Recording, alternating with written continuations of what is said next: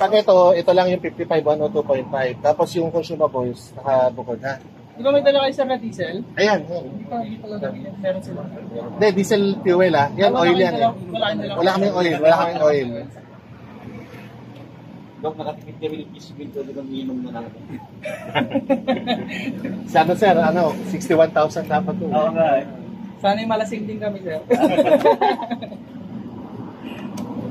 Sige sir ha. I- yung saktong higpit lang ha. Hindi naman.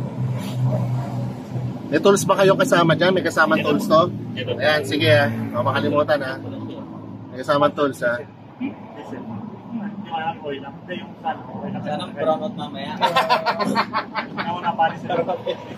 Ayan, okay.